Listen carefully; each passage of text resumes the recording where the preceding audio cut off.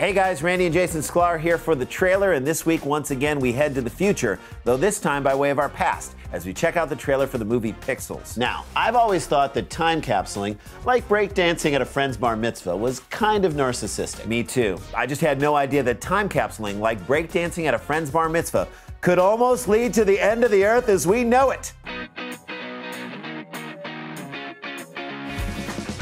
Today on the show, we break down the trailer for the movie Pixels, and I gotta tell you, Jay, it feels like I jumped into the tabletop video games we used to play while waiting for a table at the Ground Round in St. Louis in the early 1980s. According to the trailer, a time capsule with stuff current to that time was sent into space in 1982 by NASA. Inside that capsule was stuff like Rubik's Cubes, an old Reagan video, and who knows, maybe a pair of red leather pants from the band Loverboy. You know, stuff that if you didn't know what it was, would be seen as random and threatening. I gotta say, I know what all that stuff is, and it's still still feels random and threatening. Well, whoever opened up this time capsule in space got pissed and sent back oversized video game characters to destroy those that put this time capsule out in space in the first place. And they sent this giant set of binoculars to drop everyone off. Honestly, no one likes an intergalactic peeping Tom. I don't.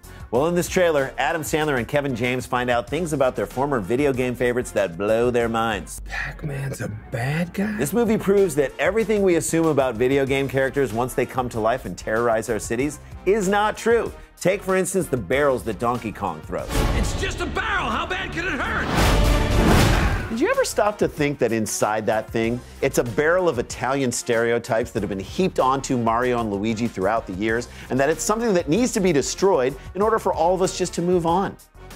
No. Me either. Just a theory. Either way, from this trailer, it seems to us that Pixels merges two things that we love blockbuster comedy with Pac Man eating the crap out of some cars. And we all know the only way to fight back against a car eating Pac Man is with Mini Coopers? Driven by a mulleted Peter Dinklage.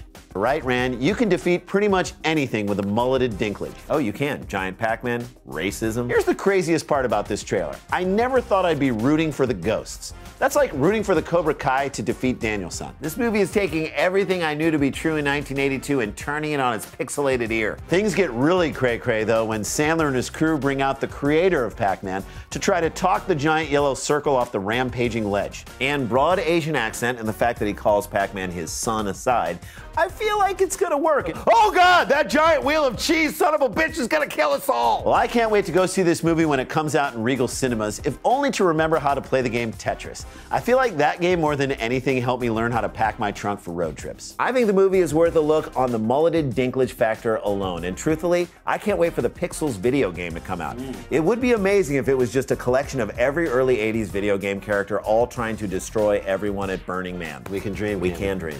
Well, that's the show for this week. We'll be back with a new trailer to review next time. Please subscribe to this YouTube channel, and in the comment section below, tell us your favorite video game from the early 1980s. And please, for the love of God, no Q*bert. Happy trailers, guys. Happy trailers.